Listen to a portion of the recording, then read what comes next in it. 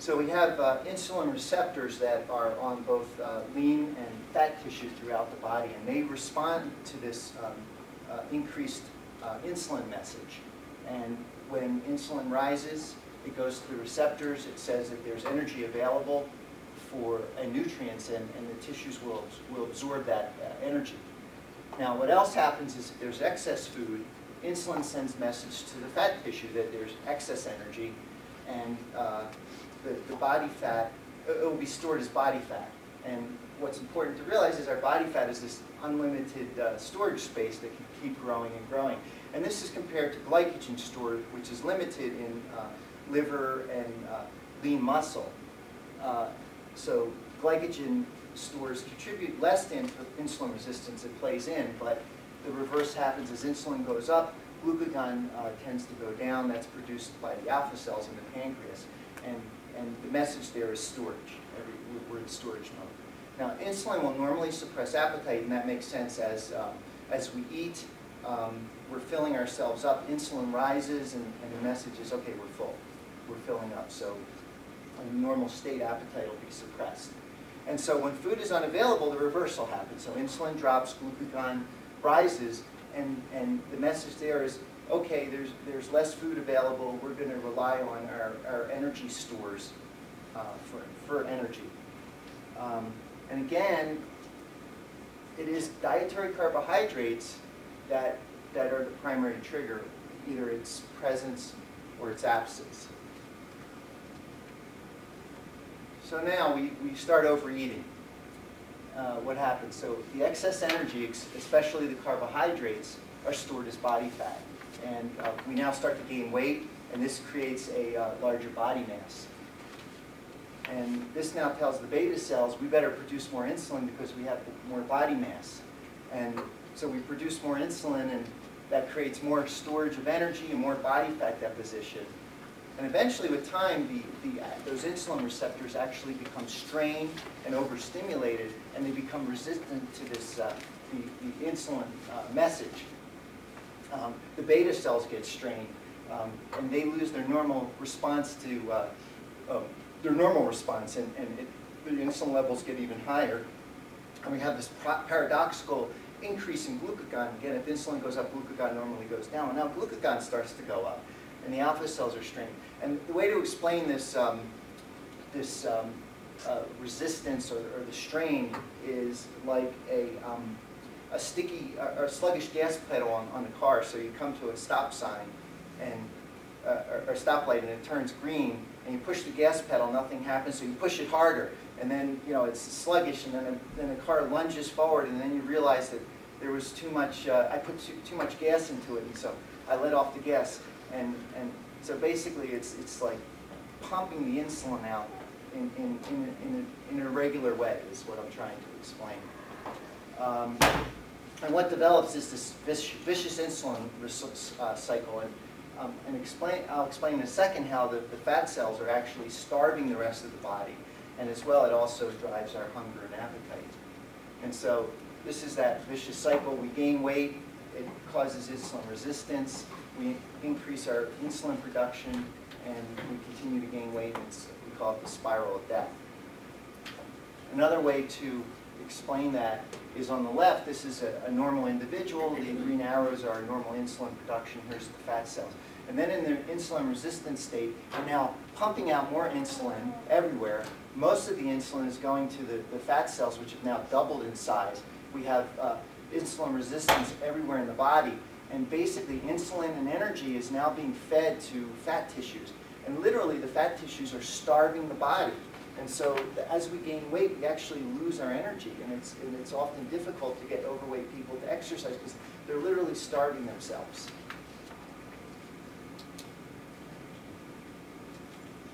Okay, so I said it drives hunger and appetite. Um, and so again, it's this pathologic fluctuation in our in insulin levels that now, as insulin rises, it's actually stimulating appetite. So it's actually doing the opposite of what it's supposed to do. And um, this is all working in the, um, ener the energy or the hunger centers of our brain, the hypothalamus. It becomes resistance itself. And we actually lose central satiety. And all we have left are, are peripheral signals of um, feeling full. And that's this swollen, um, bloated abdomen, and especially carbs no longer suppress appetite, and this concept that we're just a bottomless pit and we can, we can eat. And I always um, mention um, um, the, the, holidays where, or Thanksgiving, where we, we, overeat and our stomachs are so bloated that, and then we have to go to bed. We call that the food coma. But these overweight patients, their only signal is the bloated abdomen that they're full. And I, I call it the metabolic abdomen, and that's just an unhealthy uh, sense of fullness. Now, there's many other hormones and peptides that can contribute with both hunger, appetite, and insulin resistance. But insulin is, is, is, this, is known the best, so we talk about insulin. But um, it is worth mentioning some of the other um, hormones and peptides. And I know this slide is complicated, but basically the point here is that we have um, all these hormones and peptides that really affect hunger centers. And this is really the research of the next 10 years. Um, in fact, we have drugs now such as GLP-1, um, amylin mimetics that, are, that have been in the market for the last five or six years that um, basically use them and, and they treat insulin resistance and they suppress appetite. So this, this is exciting for the future. So let's talk about inflammation. And so we have um, this, this concept now where the fat tissue is, is an organ. And unfortunately, that organ is inflammatory and toxic, and we think of it as the gas tank is poisoning us. And it releases toxic substances um, that fuel infl inflammation and insulin resistance. It's toxic everywhere in the body. Um, as we gain weight, uh, we have circulating triglycerides and free fatty acids that are directly toxic to our, our bodies. And we, um, the, the, the um, adipose tissue is releasing uh, hormones or cytokines of which 95% of them are harmful, unfortunately. And this basically leads to these, these concepts of inflammation, energy storage disease, which I'll talk about, and um, insulin resistance is just one component. And so on the next slide, this is just a different way to look at this condition, where the problem is fat, fat storage. The fat cells are here in the center of the universe, and they're releasing all these toxic substances um, actually adiponectin is, is uh, paradoxically decreasing, and this is the one healthy component that's, that's released and it, and it drops. And there's a lot to this slide. We could spend hours talking about it.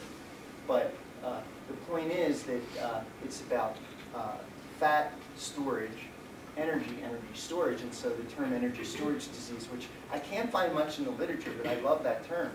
And so I believe that, you know, when we talk about inflammation, insulin resistance, energy storage disease, it's one and the same. And this all leads to basically all the diseases in, in modern society. And if we take it one step further, this slide basically illustrates some more of those associated conditions related to inflammation, energy storage disease. And basically, this is why we're here as healthcare professionals. We're treating all these diseases in modern society. And if I left anything out, just, just name one and we'll put it in the next presentation because it's all connected. And so um, there's this one specific condition, metabolic syndrome, that um, if you have this, you're at an increased risk for uh, heart disease.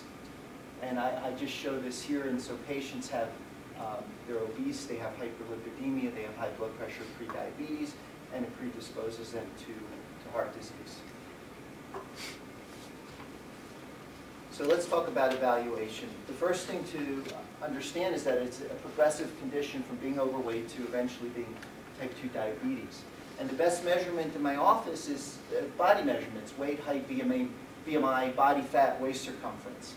Um, of course, we want to get a, a, a full family, his, uh, a medical history, a family history. We want to determine uh, the other comorbid conditions that we have to treat, and we have to identify patients at risk. And it's very easy to identify patients at risk, since two-thirds of the population have, have this issue. Um, what we like to do is um, the OGT, or the glucose tolerance test, the, the two-hour OGT in our office. The American Diabetes Association and Medicare are recommending uh, using this as a screening tool.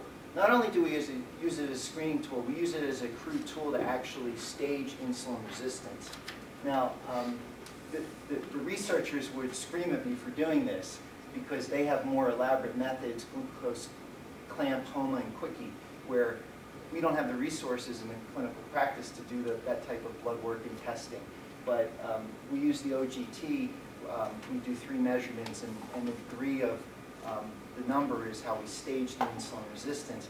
And uh, I keep a database since this is what I'm interested in. Now I've done over 700 uh, uh, OGTs in my office, and it's often fun to look at uh, one patient and compare how the OGT changes with time. Um, we want to uh, measure markers of inflammation, and basically it's a metabolic syndrome evaluation. So hemoglobin A1C screening, um, I've been doing that for 10 years. And in, um, Susan, as I mentioned before, wanted me to specifically say that in 2009, the ADA now has uh, recommended it as a screening tool. And that's great. We've been doing it. Uh, we get, we get much more information with OGT, but the question is if you have time in your office to do that. Um, we measure C-peptides, lipids, CRP, whatever you want, but the idea is that these, to me, they're markers of inflammation. And it is the degree of insulin resistance that, and the beta cell dysfunction that directs our treatment. So, how do we treat it? And this is fun. Um, they taught me how to prescribe medicine, but, and I still do that, but, but when we look at this condition, it is the food, is, is the medicine, it's the lifestyle that we're modifying first. And how do we do this? We remove the primary fuel, which is the carbohydrate. And what does it do? It turns off the insulin switch. Stored energy is re released from the adipose tissue. That promotes lipolysis or something called healthy ketosis. Um, and we, um, we lose weight, we empty the gas tank, and it becomes uh, anti-inflammatory. This again will control hunger and appetite. It increases our sense of fullness. And um, we actually go through carbohydrate withdrawal initially, and we joke with patients that we're signing them up to the uh, Carboholics Anonymous program. And you can literally think of carbohydrates as the drug of choice, and we're trying to rehab them off of that. And so they go through withdrawal. And what we do during that time is encourage patients to, to eat um, uh, uh, healthy, high-fat, high-protein foods, drink a lot of fluids, and they feel terrible, and we tell them that's a positive response because you've made changes to your diet. And I know as the body begins to burn body fat instead of relying on dietary carbohydrates, that withdrawal will go away. So we need to support them during that period of time. Um, again, we are going to be eating less carbohydrates, and so we're going to regulate those in insulin levels, and we're going to control our appetite, and um, the patients will lose weight. So this is an important slide. Um, so again, we want to talk about the other macronutrients. So the dietary fats and proteins. Again, they're not the inflammatory fuels because they don't stimulate the insulin like carbohydrates do. And by default, you're going to increase the fat and protein in your diet. And the important part is about the fats. Fats are not so bad. And this is, this is one of the sticking points for 60 years. So we all agree now that there are these monounsaturated fats uh, essential fatty acids that, that are healthy. Um, the reason that fats are good is that it promotes satiety. And the big point, or the major point here is that again, fat is not the primary fuel for this condition. So why have we spent 60 years focusing on fat consumption? Okay? Um, so um, we all agree that there's some problems with trans fats. And, and this is another punchline here, is that it is actually the combination of fats, cholesterol, and carbs in the diet that, that, that is, that's a killer. And the way I explain that to my patients is that if my patient says, you know, I'd like to have a cheese omelet in the morning, I say, that's fine, go have a cheese omelet. The problem is what we typically eat the cheese omelet with, and it's all the carbohydrates. So um, toast, hash brown potatoes, pancakes, maple syrup, orange juice. So as soon as we combine those foods, we now raise what's called the glycemic index of the meal, and I'll explain that. We turn on the ins insulin switch, which is the message now to store that food, and we drop dead from a heart attack. So another way to say it is the combination of the, uh, the carbs, fat, um, and, and cholesterol in the diet that, that is a killer. And so we don't want to do that. And um, of course, we need healthy, healthy protein so that you don't use, lose your muscle mass as you